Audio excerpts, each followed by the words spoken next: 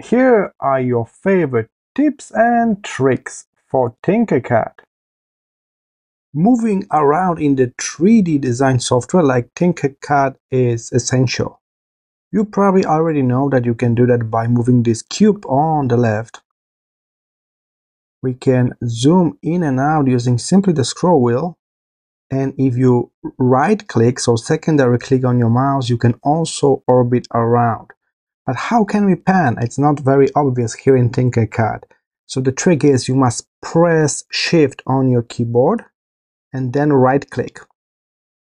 If you got shift down instead of orbiting around the object, you will be panning left and right, up and down. Again, without shift, when you right click, you're orbiting like that. When you press the shift down, you're panning the camera left and right, up and down. Alright, so that's all three moves you need to know. Zoom in and out, orbit around, and hold shift to pan. With those three movements, you can adjust the angle and get this perfect view for your 3D object.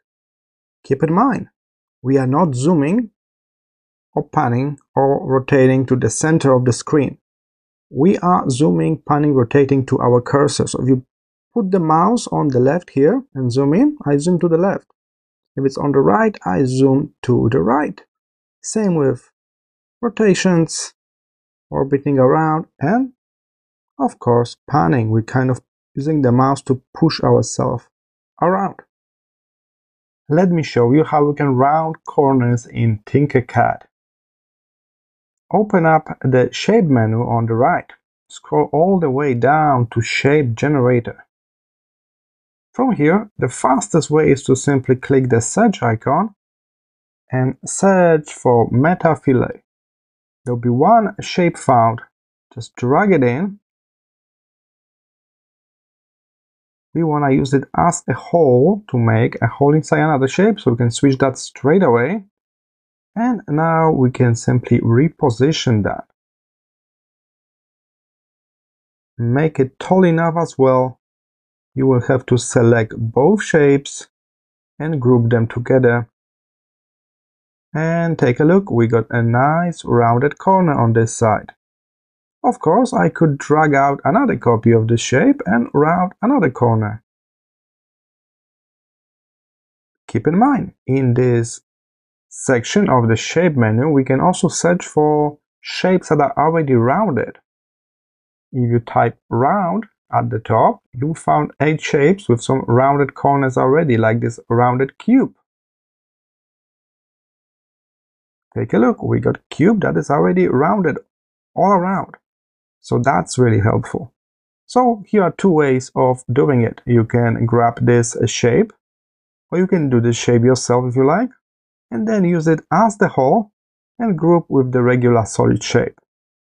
Or search for already rounded shapes in this last section, shape generators, when you got hundreds of shapes that are not that popular, some of them are submitted by users. Let me show you how to place a SVG, a scalable vector graphics, in your Tinkercad project.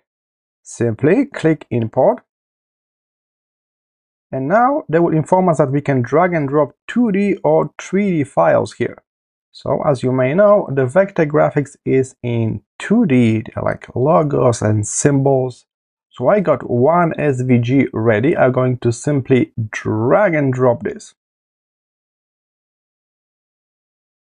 As you can see, it's Apple logo in SVG format. It's a ladder large, so I would just scale this down to maybe 15%, like that, and I will click import. After a moment, the object will appear. Even though this was a flat 2D SVG, the program will generate this uh, 3D-like object for you. If you want to change the height of it, just move the middle point down to 1 to make it very flat, or other way around. You can move it up as well. You can modify the color easily And this way you can put any SVG smaller than 25 megabytes into your Tinkercad. It's really nice starting point for your 3D project. Hey there, let me show you how you can make a hole in an object using Tinkercad. So first we need a solid object. You can select from groups like basic shapes, your favorite objects, or any other structure that is available on the right side. So I will stay with basic shapes. We will do a classic cube here. We can make it way larger by pulling the corner. We can make it way higher by pulling this middle control point like that. Alright, so how can I now make a hole in this object? We need another object that we're going to use as the hole. So let's say I got the cube again. Let me change the color of this one. So this blue one will be used as the object that create a hole in this bigger one. So be sure to position this object, the second one, correctly, exactly in the location that you need that hole to happen. Then we're going to transform this object into the hole type. So in my case, I will just move it up here. I want to put it kind of like inside this object, a bit lower. Okay. And now I'm changing the second box from solid to hole. It will become this gray transparent like color. But that's still an object inside another object, not a hole. Yes, so now the final step. Let's select both of them. So both shapes are selected.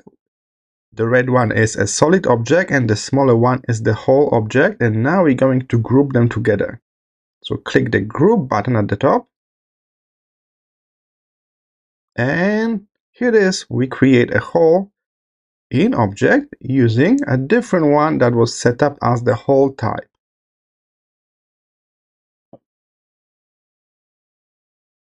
And here it is, we create a hole in that box using the smaller box. So the final step, if you want to create a hole, you set up everything nicely, is to group them together and then you will get this result. Keep in mind, you can even ungroup them and will be back to this. So we can modify this another one right now. And then we can group them again. And here's another hole. Now we turn it into kind of L shape. So that's non-destructive way. We can always group and ungroup them multiple times. I just have created this brand new document in Tinkercad. So how can I save this project? The good news is the project is safe from the first moment you create it. It will be saved automatically every few seconds in this cloud storage provided on Tinkercad. You can rename it here at the top and I suggest to click on this generated name and put your own, your own name here so you know which project is it. If you want to see it in that cloud storage that they provide, you can click on the logo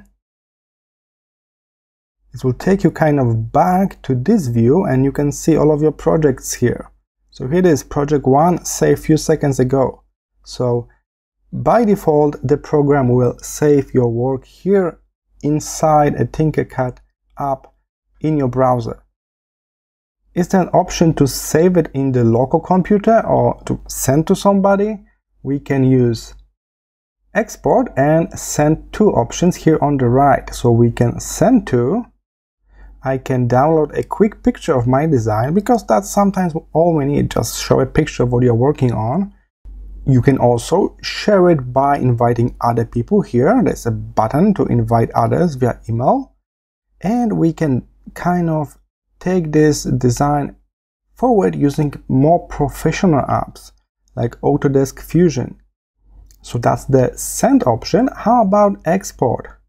In this case, we can download a local file. So we can get uh, files for 3D printing like .object, STL. There's also a flat file, SVG here for using like cutters and lasers.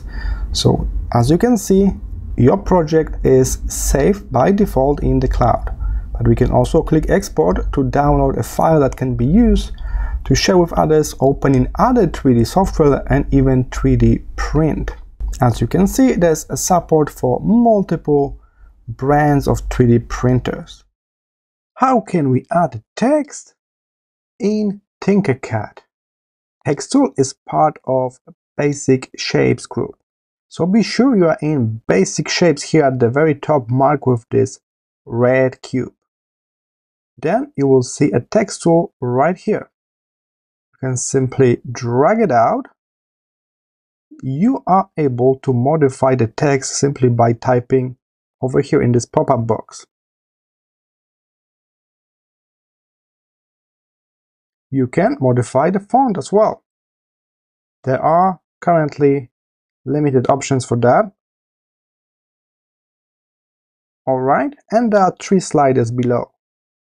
Height of the letter, you can get all the way down to 0.1 if you want it to be like almost flat text. We can add some bevel to it like that. And there's also a segment option with the last slider. Alright, of course, at the top we got our colors. So you can customize that as well.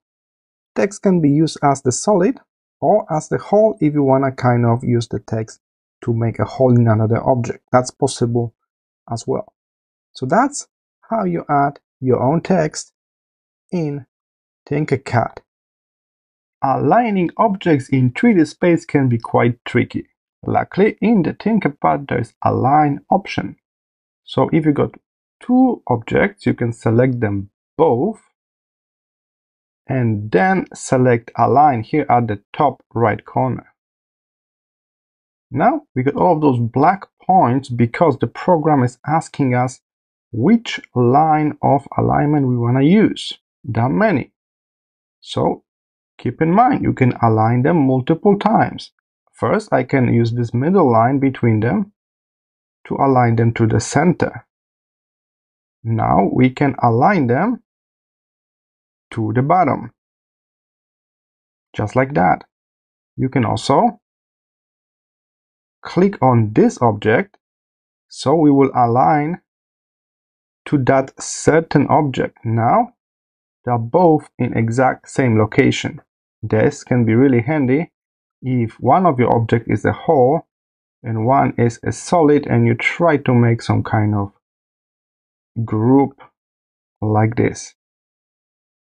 Alright, let's try it one more time. This time, I'll place one object here and one will be here. Remember, you must select them both. You can click on the first one, hold shift and click on the second one. Now, alignment, and you can click on those black points if they are the one that you plan to use. If you cannot see the area you plan to use before, click on one object to make it a key object. And now we're going to align to that object. So I can use the center of the first object as the alignment guide. This way I move only the green one and the red one stay exactly as it was. How can we cut shape in half in Tinkercad. To do that, we will need to draw additional shape that we're going to use to subtract from this base shape. So this additional shape should be a bit larger. In my case, I'm going to use a cube. We can grab this box here, the first one that is already set up as a hole. So we don't want to use the solid object with the color. I want to use the second option here, the hole look like transparency a bit.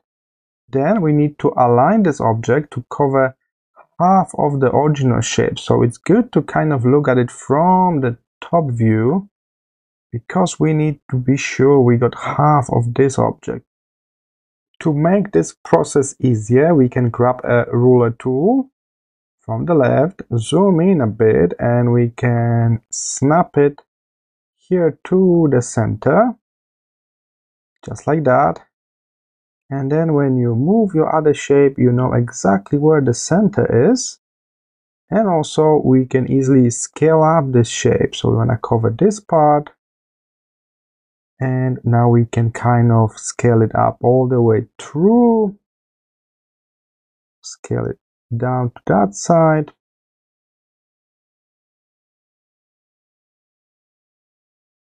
And in my case, I will need to make it a bit higher.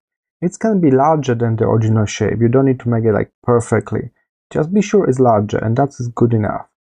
Alright, now we simply need to select both and group them together. And here it is, we got only half of the shape. So we use one larger shape to cut another shape in half. Keep in mind this larger shape needs to be set up as the hole, as this transparency, not as the solid color. Let me show you how you can easily move the camera around in your Tinkercad project. By default, we can grab this cube here at the top left corner, and by rotating this cube, you can rotate the scene. Also, by tapping on a face, like a top face, you can jump straight to that. If you click on it, it will move the camera to exact position. But it's not very handy if you are working on something in your design. That's why you can also press a right side of your mouse. So the right click will do the very same thing when you can rotate the whole scene around. How about zooming in and out? That's your scroll wheel and keep in mind, you are zooming in and out, not to the center of the screen, but to the position of your cursor. So if I place my mouse cursor on the left here, I will zoom in to that position. Let's zoom out. If I place it on the right side of the scene, I'm zooming in to this position. It's really important to understand that we are not zooming into the center, we are zooming in to where the mouse is. Alright, so we know how to rotate and zoom in. There's one more move that can help you out. We can pan the camera around. So if you press and hold shift on your keyboard and then press the right button of your mouse, instead of rotating, you will be panning like that. So you can kind of move the camera without changing the angle in this case. Release the shift and you're rotating press the shift and then right side of your mouse, you panning. Alright, so we got all basic camera moves covered. Keep in mind there are some additional buttons on the left like home view. We can have a fit to see all. There is zoom in and out button. And you can adjust to switch to the flat view as well. Okay, so right click of the mouse to rotate or the cube. You are zooming in to the mouse, not to the center using the scroll wheel. If you press shift and use the right button of your mouse, you will pan the camera around. And that's all you need to know to get started. Let me show you how you can take orthographic projection screenshots directly in Tinkercad. So here I am and now to present my projects nicely on screenshots, I can move my camera first to like isometric view. So I kind of tap here at this corner between front and right and top here. And the camera will kind of adjust. Take a look. I just click at the corner and here it is. I zoom in a bit and I can snap my very first screenshot. It's a print screen or Windows print screen on Windows or you can press Command Shift number 3 on Mac or number 4 so you can limit this space just like that. Alright, so that's the overall view in 3D but our task is to turn it into flat 2D images of each side of your design. So now I'm going to double tap front on this cube here. Okay, almost good. Now we need to switch off this to the flat view. So click on this icon. Way better.